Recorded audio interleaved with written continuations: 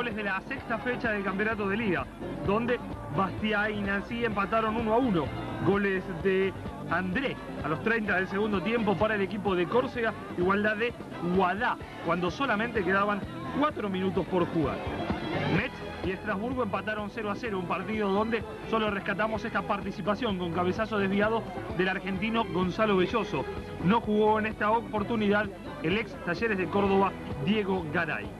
Mientras Troyes derrotó a Nantes 1 a 0, el único gol del partido lo marcó Saifi cuando se jugaban 8 minutos del segundo tiempo.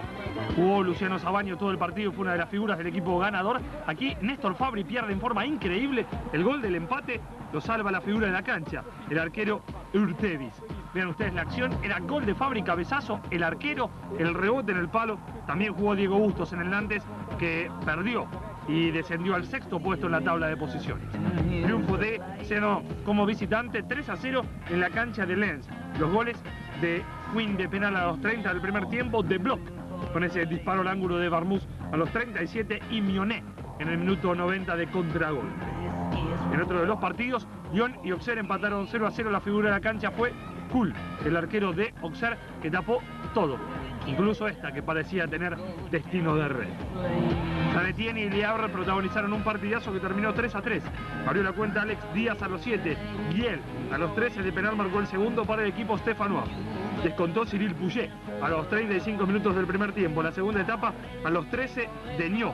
Y a los 17 Weber dieron vuelta a la historia. Ganaba el equipo de Normandía por 3 a 2. Sanetien se salvó de la derrota por este gol de Potillón. Ya en la cancha estaba el franco argentino Néstor Zubiano.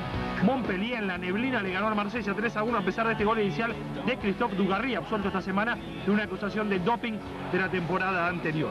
Empató Delay a los 11 del segundo tiempo, el propio Delay, seis minutos más tarde, consiguió el 2 a 1 y Nicolás Wedek a 11 del final, el 3 a 1 definitivo para Montpellier contra el equipo de Eduardo Berizzo.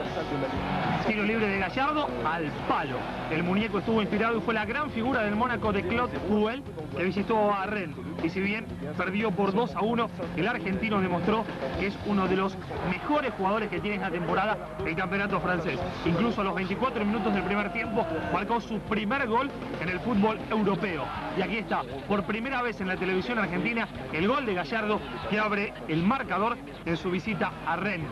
Ya jugando para el Mónaco, pero con los mismos colores con los que se hizo grande en Río.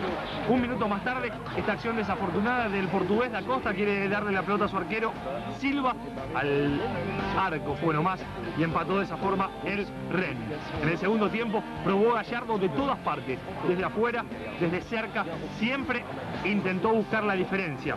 La impuso con su juego, pero no lamentablemente en el resultado. La gran figura del encuentro fue indiscutiblemente Maliki, el arquero de Rennes, quien una y otra vez se encargó de neutralizar el ataque del conjunto de la Costa Azul. Al final, Ren aprovechó otro grosero error defensivo del Mónaco. El arquero Silva le regaló la pelota a Yavan Inonda y este se encargó de mandarla al arco y sentenciar la derrota de Mónaco. Fue victoria para Ren 2 a 1. El único puntero es el Paris Saint-Germain, que le ganó en el Parque de los Príncipes a Bordeaux 2 a 1. Goles de Micael Madar en el primer tiempo y un golazo espectacular de volea del ingeniero J.J. Ococha a los 35 del segundo. Descontó de penal Silvan Wilton para el Bordeaux, campeón la temporada anterior. El líder Paris Saint-Germain con 13, Lyon y Auxerre tienen 11, Mónaco y Estrasburgo 10, Nantes 9 puntos, los líderes tras la sexta fecha del campeonato francés. En Inglaterra